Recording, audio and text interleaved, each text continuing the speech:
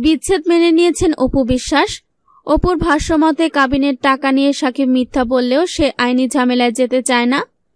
অনেক কষ্ট করে যখন সাকিবকে ফেরাতে পারেননি, তাই আর আইনের মাধ্যমে জোর করতে চাইছেন না।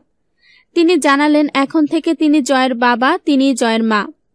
নতুন করে জীবন শুরু করার বিষয়ে অপু বলেন, নতুন করেই তো শুরু করছিস সব।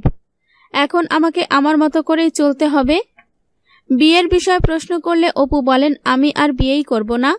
কখনোই না। আমার ছেলে আব্রাহাম খান জয়কে নিয়েই আমি জীবন কাটিয়ে দেব। এদিকে ঘনিষ্ঠ সূত্রে জানা যায়, দুই হাজার উনিশ সালের শেষের দিকে বিয়ে করবেন সাকিব। তবে মিডিয়ার কাউকে বিয়ে করবেন না। বাবা মায়ের পছন্দের মেয়েকে বিয়ে করবেন শাকিব খান।